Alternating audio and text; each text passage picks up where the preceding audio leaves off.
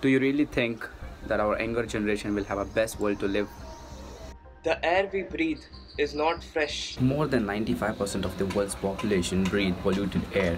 The water we drink, it's not clean. The rivers that we worship are polluted with industrial wastes. The food we eat is not organic. The roads we take every day are not safe. The crops we grow are not enough. The clothes we wear are not cool. This earth is the only planet where we humans can sustain a living. What are we fighting for?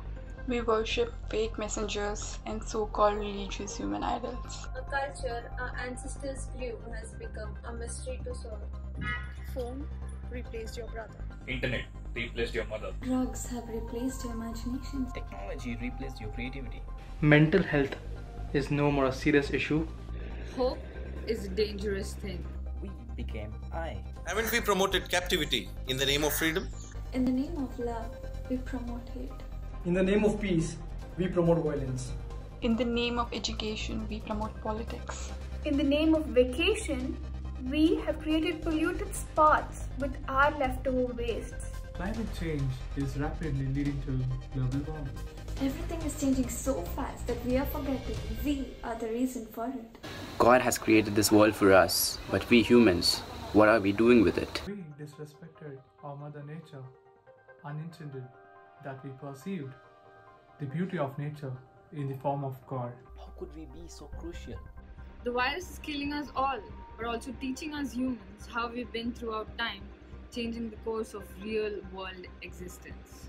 The temples, mosques, and churches we worship are empty.